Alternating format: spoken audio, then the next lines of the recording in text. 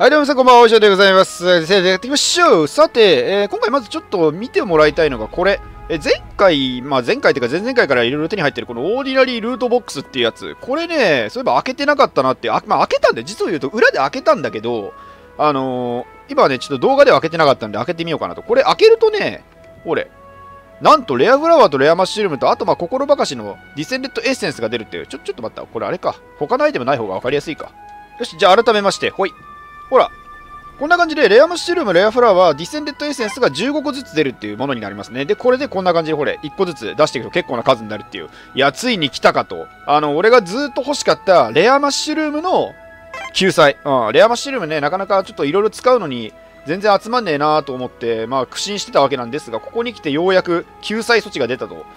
おそらくこれね、オーディナリールートボックスってなってっから、オーディナリー種倒せば普通に手に入んじゃねえかなと思うんだけど、ちょっと一発やりに行ってみるか。さて、 Ordinary パラサ、ほら、ほら、ほら、 Ordinary パラサ倒したら1個出たでしょだから、多分、 Ordinary 種を1匹倒せば、普通に手に入るっていう。だから、これから Ordinary 種を倒す意味が出てくるっていうね。 Ordinary 種を倒してしまいさえすれば、えーと、倒してしまいさえすれば、お前硬ってえな、やっぱり。まあ、倒してしまいさえすれば、こんな感じで、ルートボックスが1個、まあ、要するにレアマッシュルームが15個ずつ手に入るっていうことなので、まあ、だいぶ楽になったよね、本当に。いやー、ありがてえ。こういうのがアプリで追加されるとマジでありがたいわ。これでもう沼地に掘りに行かなくて済むからね。もう最近ね、ドードレックスが大量にいるせいで全然掘りに行けねえから。ちなみにエクセレント種倒しても手には入らないね。うん。エクセレント種はエクセレントソウルのまんま。さて、まあ、じゃあいろいろ助かりますねっていう話をしたところで今日のやつ移っていくんですが、今日は、あの、このトークン使ってエボシ呼んでもいいかなと思ったんだけど、まだね、デビリッシュ種がね、あの、ちょっと待って。まだデビリッシュソウルとかがね、手に入ってないからね、これどうしようかなっていう。まあでも今ね、倒せるんじゃねえかな、デビリッシュ種。いけるだろう、これ。あの、思ったんだけど、俺、前も言ったと思うんだけど、ディバイン種とぶっちゃけそんな変わらないらしいんですよ。だから、まあ、今いけるか？ちょっとやってみるか、デビリッシュ種。適当なデビリッシュ種ちょっと倒しに行ってみようぜ。あ、アロサウルスでいいじゃん。あ、アロサウルスでいいんじゃない？そうだね。これでいこう、アロサウルスで。うーん、まあなんかやっぱり寄ってきちゃうけど、まあ、寄ってきちゃうけど、とりあえず大丈夫だろう。まあ、いいえいいえ、とりあえず、いや、あの、連こいつら2体まとめてやっちまおう。逃げてんだったら、これでいけねえか。オッケーオッケーオッケーオッケー。ほら来た、ほら来た、ほら来た。あー、いけそう。なんだこれ。あ、普通のギガのとか。あ、バニラのギガのとかこれ。うわ、145レベル？欲しい。ちょっと待って、あれ？あ、倒してるじゃん。あ、やべえ、いつの間に。あ、なんだ、倒してたんだ。うん、普通にやれるじゃん。デビリッシュソウルゲットしてるし。まあ、ついでだからこいつもやっておくか。別にそんないいステータスしてるわけでもなし。ああ、ギガのとか死んじゃって。うわ、欲しかったな。145レ、145レベルのギガのと欲しかったな。うわ、撃ってきたわ、普通に。あっぶな上に撃てないんだ。なんだ、普通に撃ってくるじゃねえか。デビルパワーとかなってるし、なんか。あっぶな。なんだよ、さっき。なんで発動しなかったんだ、さっき。よかった、食らわなくて。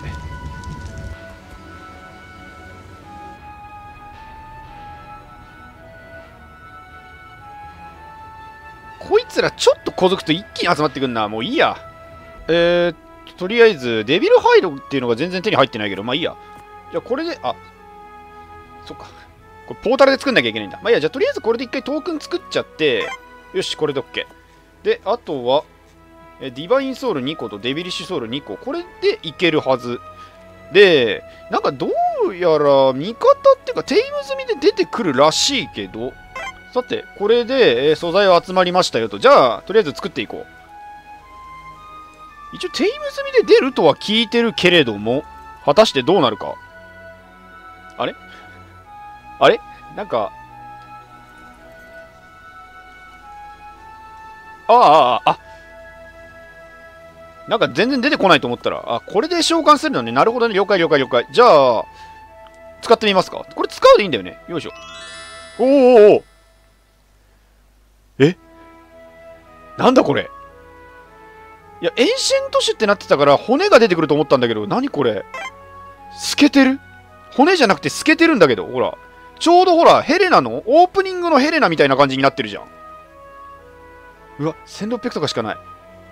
ちょっと待って待って。あかんあかんあかんあかんあかんあかんって。あかんって。ちょっと待って。え、これさ、ま、まあ、とりあえず一回下がるか。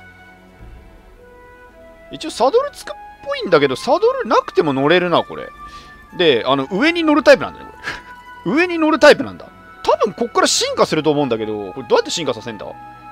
一応、あの、エターナルの時は、えインベントリーの中にその次の進化のためのエングラムみたいなのがあってそこに材料が表示されててでその中で作成をすると進化するってタイプだったんだけどなんかあるっけ？んこれか？これかな？なんか。なんかこれっぽいよね。エボコーフォーオリジナルラプターって書いてあるから。多分これだろこれを使うんじゃない？中で。作るのはこのターミナルではないんだなこのターミナルで作るわけではなくてターミナルっていうかあれかあの、ウォージェネレーターではなくて、ああ、やっぱり、作業台で作れるわ。じゃあ、えー、っと、そっか。またアーティファクト必要なのか。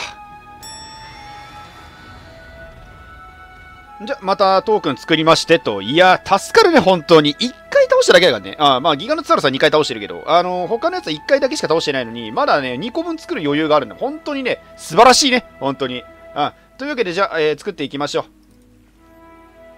う。さて、こいつを与えりゃいいのかな？とりあえず。まあまあまあまあ、どうなるか分かったもんじゃないけど。えー、これで使、あ、使えるわ。コンシュームってなってる。えー、The Transform is Wonderful。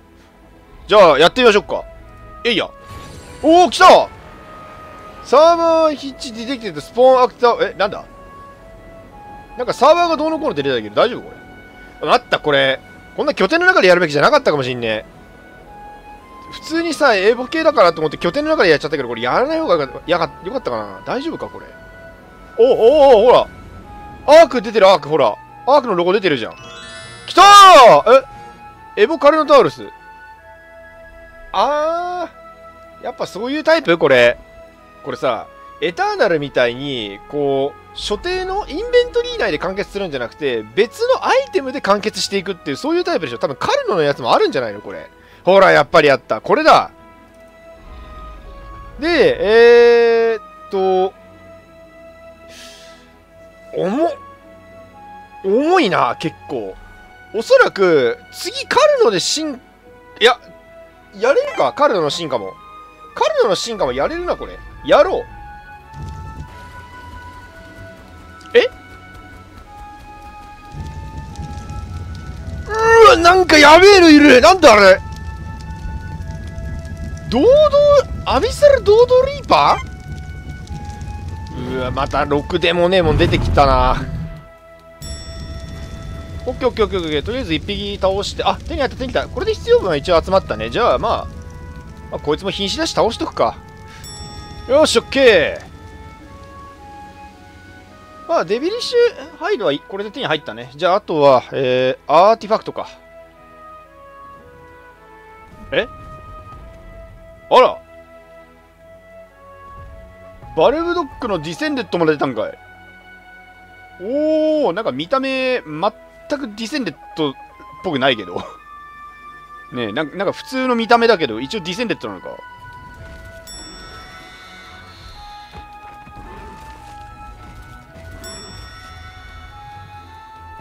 よし、オッケー。とりあえず2体倒してと。アーティファクト結構出たんちゃう？俺。おおいいね。これからまたキブル作るからね。あれ、使う、使う、使う。もう、もう一回トークンを作って、で、えー、エボカルノ？これか。おー、作れるね、作れるね。いやー、こう見るとやっぱコスト重たいよね。まあでもしょうがない。じゃあこれ作っちゃってと。さーて、どうなりますかね。えー、レベル上げとく意味あんのかな？なんかあんまあるとは思えないが。まあいいや、じゃあとりあえずやっていきましょう。よいしょ。これ何なんだろうな？これな、なんか出てんだよな。まあいいけど別に、特になんか問題がありそうなわけでもなさそうだし。あの、造形ぼやけてます。なんか、あの、さっきからさ、思ってたけど、結構砕きやすいんだな、像が狩るのは。これほら。ちょっと離れると骨がなくなるんだよ。だからな、なんか、なんか透けてるだけっていう。あ、いいね。おいあテリジノになるの？あ、てっきりテティラノになるかと思ったら、テリジノになったわ。すげえ。ちょっと待って、かっこよくね？おおちょ、待って待って待って。爪の骨格が爪の骨格がえぐいことに。えー、こういう風に見えるんだね。一応これ、スケルトンテリジノなんていないからさ。なんか、な、え、なんかさっきまでなかったようなコアがうがうごめいてんだけど。特になんかあるわけじゃないよね、これ。なんか、な、なんだ？この謎のコアは。ってことは、テリジノの、ええー、じゃあ次はテリジノの、あ、これか、エンシェントテリってなってる。え？え？これいけね？いや、これいけるだろう。ちょっと待って。うわ、どうしよう、これ。ちょっと待って。いや、あのさ、いや、いけるな、これ。頑張れば。頑張ればいけるぞ。足りてないのが、えっと、デビルとディバインのソウルが、えー、4個ずつ足りてないのと、デビルハイドが足りてないと。で、トークン4個。まあ、デビルハイドに関してはデビルシソウルを集める過程で絶対手に入るから、まあ、実質的には集まってると見ていい。あじゃあ、トークンか。ちょっと待ってね。1個作るのに16個な。えーっ、ギガノトサウルス以外の、えー、トークンを各1匹ずつ倒せば多分いけるわけか。うん、ギガノトサウルス以外の Ancient 種をもう1回倒せばいけるわ。よし、じゃあ、やるか。やるか。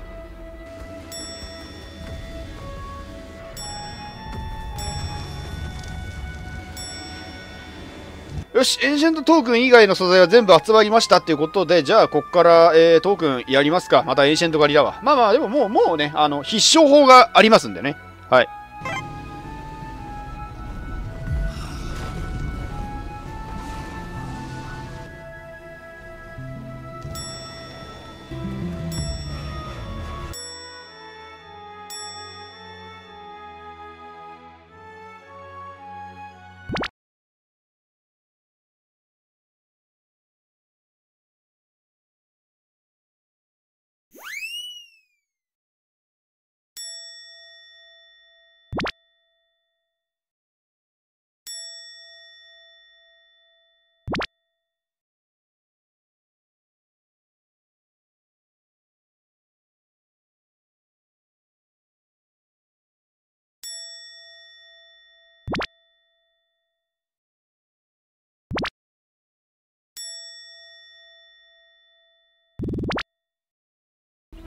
はい、というわけで、えー、各16個ずつ集まりましたよと。あくそ大変だったわ。あの、全然さ、あの、白はめできなくて、めっちゃ大変だった。全然はまんねえのな、あいつら。ふざけやがって。まあいや、とりあえずこれで、えっ、ー、と、エボテリが作れますね、エボテリ。え？アーティファクト1個足んねえというわけで、えー、これでエボテリが作れますね、ということで、ああ、疲れた。もう、めっちゃ疲れた。さて、どうなるか。あ、一応レベル上げとくか。てか、テリーになってからすげえな。22万あんのか、体力。これちょっと命令上げといてみるか、一応。ちなみにさ、一応あるのな。一応採取量のあれあるんだな。多分意味ねえけども進化させるし。じゃあ行こっか。今回はちょっと引きの映像でお届けしようと思います。あんま意味ないと思うけど。さてと、さい、最後ではないよね。え？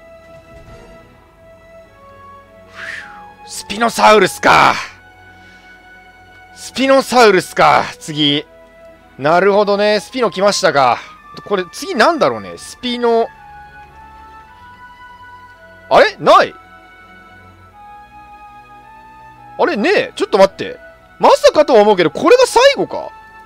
一応ね、こあ、いや、ここに、わかるかなこれ。これさ、なんかのほら、テック、な、な、なんかテックな、これ、エングラムなんだけど、ここ、エボって書いてある。あと、下にもエボあるじゃん。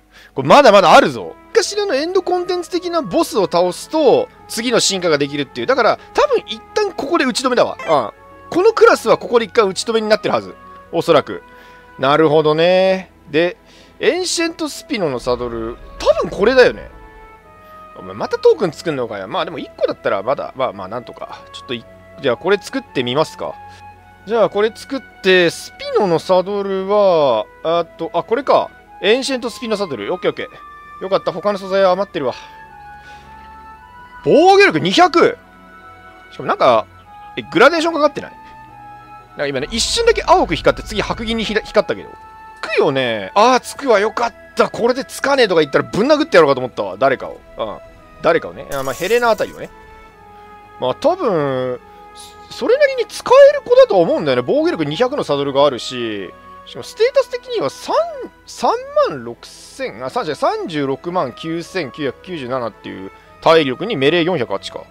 うん、まあ、見た感じ、すごく使えそうな子だと思うんだけど、まあ、でも一応まだ途中進化なんだよね。まだ、あの、エターナルでいうとこのダークスターには慣れてないわけだよね、おそらく。うん、どうなんだろうね。どこまでやってくれるのか。はい。まあ、ちなみに、あのー、見るのは次回にします。あの、今日はもう疲れたんで、あの、次回見ます。はい、とりあえず。まあ、一応、歩くだけ？あ、あ、あ、あ、ずいぶん、あ、これは、ずいぶんやってくれそうな予感がするわ。あ、まあ、じゃあ次回、ね、次回ちょっと、やります。はい。えっ、ー、と、お楽しみにということで、これ、あれ待って待って、今、今、あの、そ外出とくべきだった。やべえ。そうだ、スピノサウルスだと出れねえじゃねえか、もうこれ。あー、くそ。まためん、まためんどくさ最後にまためんどくさいことになった。まあいいや、じゃあ、じゃあ、じゃあ次回、あのね、次回外出しておきますんで、じゃあその時見ましょう。はい、というわけでお疲れさんでした。ああ、行ったわ。オッケー、よかった。というわけで、えー、っと、はい、お疲れさんでした